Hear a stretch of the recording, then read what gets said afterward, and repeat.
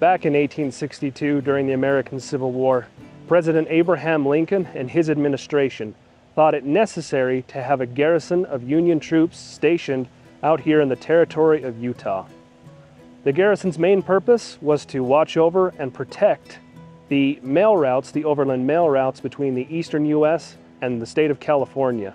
They had a secondary purpose, however, which was to watch over the Mormons, whose loyalties were not 100% trusted by the Union at the time. The federal troops arrived here in Utah in the fall of 1862, and by the early winter of 1863, it became necessary to establish a cemetery. The reason was not because somebody had died of illness or natural causes, but rather the troops had engaged the Shoshone on the Bear River in Idaho.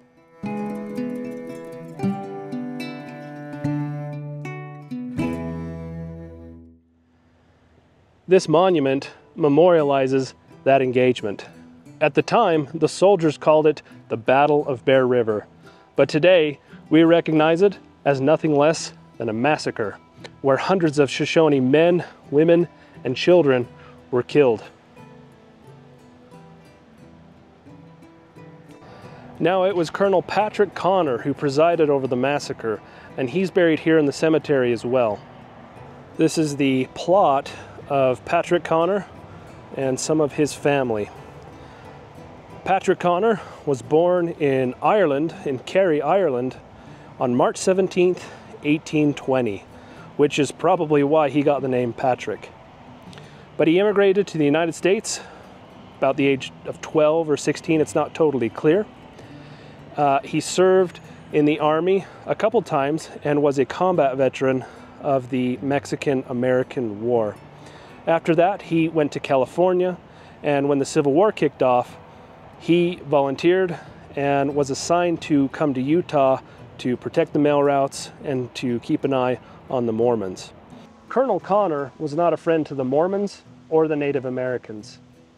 He killed the Native Americans whenever he thought he had the legal opportunity, and he sought to subvert Mormon social and political power in Utah by opening up areas for mining, hoping to attract non-Mormon miners and business interests to the territory.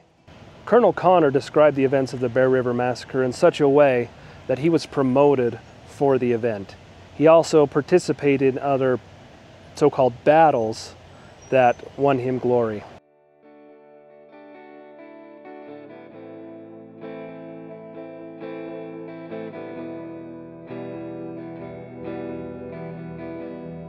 Another notable figure here in the cemetery is James Duane Doty, a former governor of the territory of Utah.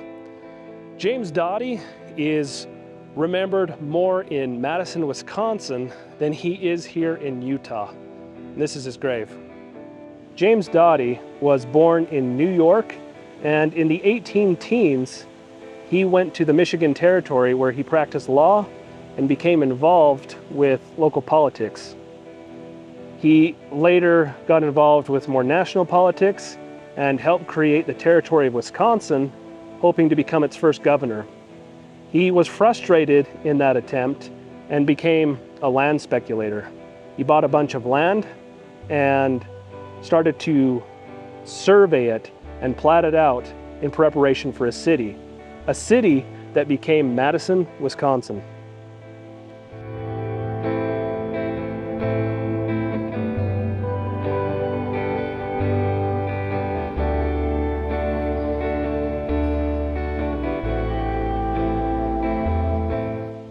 Some of the men buried here in the cemetery belong to the 24th Infantry Regiment, which in the latter part of the 1800s was a black infantry regiment. They are more commonly known as Buffalo Soldiers who participated in various Indian wars out here in the West. Some of these men later participated in the Spanish-American War, saw combat, and were even veterans of the most famous battle from that war, the Battle of San Juan Hill in Cuba. It's not just Americans who are buried here in the cemetery. There's also Germans and Italians and at least one Japanese from World War II. And they're buried here in this corner. When the US entered World War I, Fort Douglas became a prisoner of war camp for some Germans. A lot of these were German sailors. With disease, accidents, you know, and the Spanish flu, many of them ended up dying. And so this monument here is to remember them. This monument was built in about 1933 and was restored in 1988.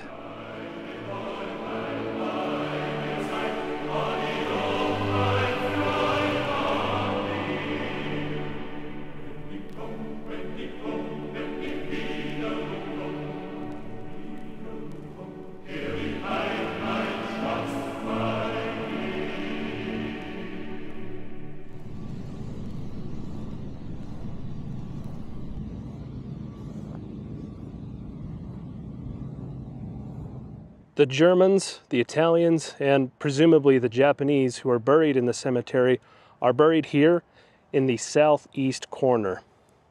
There's quite a few, and one thing you'll notice here is they all have similar dates of death. Over here, we have Friedrich Ritter, July 13th, 1945. While over here, we have Ernst Fuchs, German, July 8, 1945.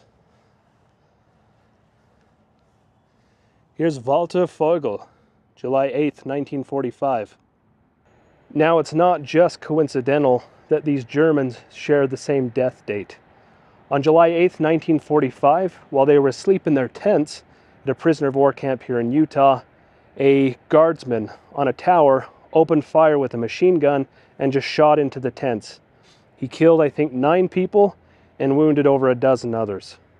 There is, however, one grave that has until recently caused a lot of controversy in the cemetery, and that's the grave of Paul Eilert, who died on June 8, 1944, only two days after D-Day. One thing you'll notice about Paul's headstone here is that it's fairly new, and indeed, it is new. It's only about two years old. Up until 2022, his grave was a lot bigger. You can kind of see by the uh, darker grass here. His grave had a German uh, Knight's Cross on it, the Ritterkreuz, with a swastika.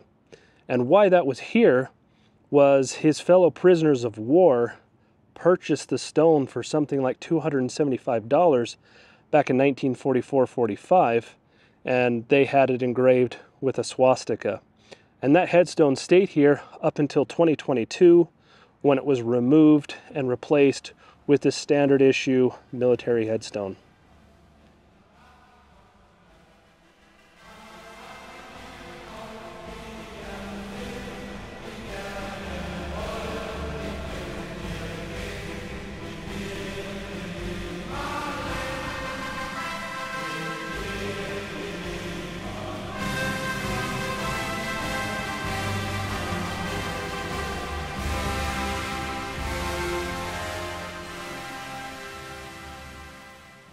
This cemetery is really unique amongst military cemeteries, and I've been to some here in the United States and in Europe as well. What makes this unique is how small it is and how broad the cross section of history, of military history, this cemetery contains, all the way from the Civil War and the settlement of the American West through to the Gulf War. So lot of interesting histories that this cemetery points to. If you've got a chance, come check it out. Uh, this cemetery is not the only remaining part of Fort Douglas. A lot of the fort has been absorbed into the University of Utah, and some semi-original buildings remain just to the north of here. There's also the Fort Douglas Museum to check out as well. So with that said, I'd like to thank you for watching, and I hope to see you in the next video.